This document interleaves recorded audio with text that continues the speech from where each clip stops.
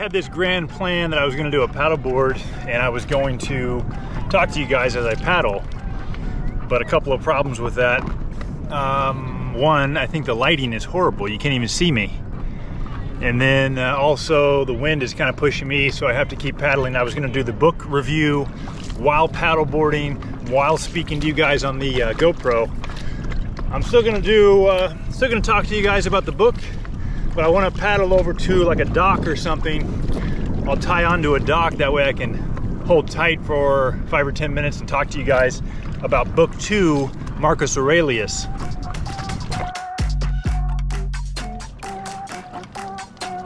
All right, I found myself a little dock here. Actually, I'm at the Back Bay Science Center. They have a dock in the back here. But I'll tell you where I'm at real quick. Uh, I'm here in Newport Beach. I'm in the Back Bay. So there's a place actually called the Dunes, which is a popular campground. A lot of RVs come here and also some boat marinas. Uh, and it's popular with paddleboarding and kayaking. And then if you go even further east, I guess it'd be kind of like a northeast, there's what they call the Back Bay, which is kind of like, I don't know what you would call it, but a kind of a protected area of water where the water goes from the ocean but it goes back for a couple of miles and it's really a nice place to do paddleboarding and everything. I'll show you a bit of the sights as I as I speak uh, today about the chapter two, Marcus Aurelius, book two rather. So it's important to know when you get into book two, the little description at the beginning it says on the river Gran among the Quadi.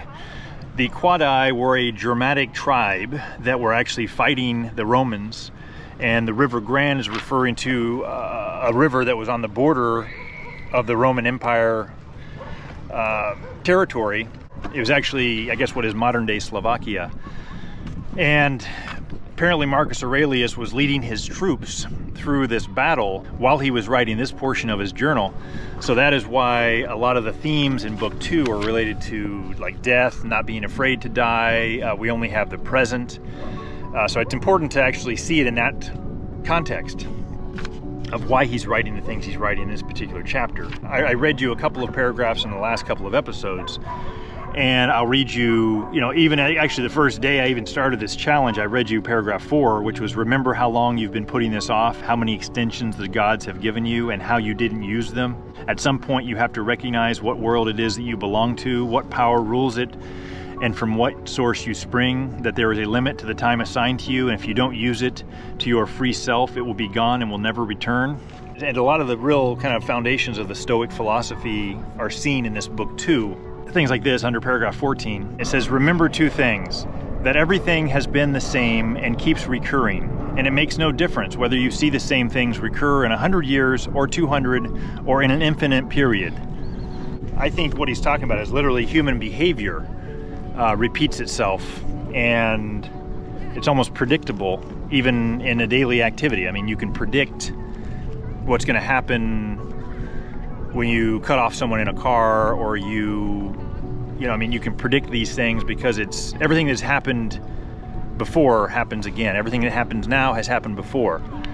You know, whether that is history as far as the economy or uh, relationships. Whenever you're in a bad relationship, you don't get along. I mean, it's doomed, right? I mean, because that's how it happens throughout forever. I mean, there are certain combinations of things that are just that's just the way it is. Um, everything has happened before and it will happen again. Another interesting note is that Shakespeare was actually heavily influenced by Marcus Aurelius in this book of Meditations because a lot of uh, Shakespeare's writings and, the, and some of the dialogue in the plays refers to some of this same kind of thinking of the Stoic philosophy. Uh, that was an interesting thing that I that I noted, and I saw it in some of my research. For example, everything is just an impression. That's paragraph 15. Everything is just an impression, and the response is obvious enough. But the point is a useful one if you take it for what it's worth. There's a theme in Hamlet where all things only as you think they are. Kind of that we have the ability, and that, that also goes to the Stoic philosophy you know, the idea is that the world is what we make it. Uh, I think is the philosophy there. Um, it's all we could we can make it a bad place, we can make it a good place, we can be happy, we can be sad. Uh, it is what we make it, um, and that's true. I mean, everything's a perception. Everything is our reality. Sorry for the planes overhead. The idea I think of his philosophy and also the kind of the Stoic philosophy, right? I mean, the term Stoic, meaning that you're not going to let things uh, maybe bother you or get to you. Uh, and that's because you have control of how you see the world, you know, and that, you, your own perception of the world is your reality. So that's the idea, I think, behind that paragraph there. We choose how we're going to react to someone being a jerk to us. Um, we choose how we're going to treat other people. We choose how we live each day. We choose if we're going to wake up in a, in a bad mood and be mad at our family members, or we choose if we're going to be happy. We, we choose if we actually let someone that we, maybe it is a family member, we choose if, if, we, if a family member is going to be able to piss us off and get under our skin. That's all our own doing. Uh, we choose whether we want to have something that may be seen as uh, bad happening, we get a flat tire or something, whether that's going to ruin the day or whether that's just a challenge in the day that we can uh, change into a positive. So those are all the, the ideas behind it, that we have the control over our mind, uh, we have control over our life, and all we have is the present. So why do we want to waste um, these bad thoughts or this time of being in a bad mood when all we have is the present? So uh, I think that's some of the critical points there of not only book two, but just Stoicism in general. That the longest lived and those who die soonest lose the same thing. The present is all that we can give up, since that is all we have, and what you do not have, you cannot lose. I also want to conclude by just saying it's kind of funny. I tried to subject my family to this book last night we went to a picnic this place called Lookout Point, a beautiful place in Newport Beach that overlooks the ocean. Actually, it's right at the where the jetty meets the harbor and comes into Newport Beach, and a lot of people go there and have picnics and everything. So we went over there, had a nice picnic, and I ended up reading them the entire book two. So I want to read you guys book two of this book, Meditations. And I wanted to get their reaction.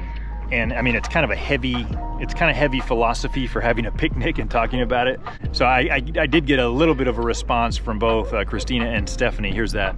I mean he's right. You can't be afraid of death because it's gonna happen eventually. Yeah but it just it doesn't really matter when death happens it matters how much you make of your life um, and I think that's kind of more what he was getting at like hey make the most of it do what you love because like you don't get a redo. So you can't be afraid of death. You just have to live every day like you might die tomorrow. And as you get older, you realize you don't have as much time.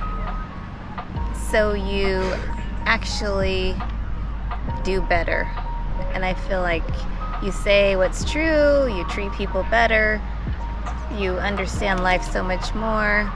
So I guess the answer is just get older and then you understand so much more. Yeah, just get old, mate.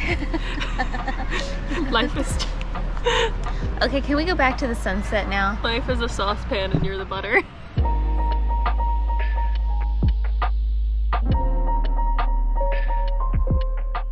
Just discussing the lottery, the 1.25 billion dollars and Stephanie has bought a ticket. Actually, she said just today she bought five.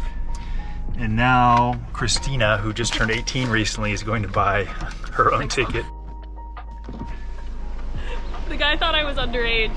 Did you have to show a license? Yeah. That's funny. Oh. The site is down, by the way. The site is down. down. I've got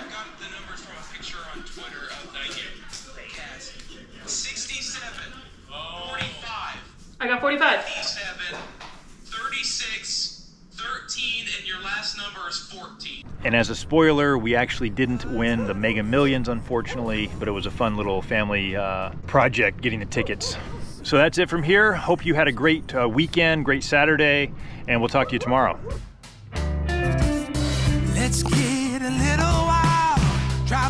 ride a thousand miles, hit every lotto along the way. A man shakes our hand cause we win. Boo!